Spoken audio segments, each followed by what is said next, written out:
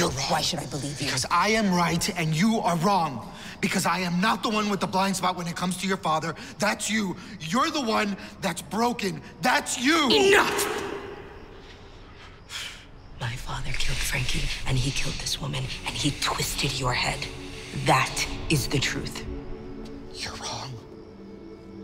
Maybe he used to be a monster. Maybe he killed people. Maybe he was awful. Maybe he was.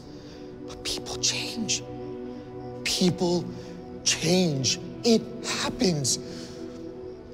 They can meet a, a nice woman and fall in love and have a relationship and be normal.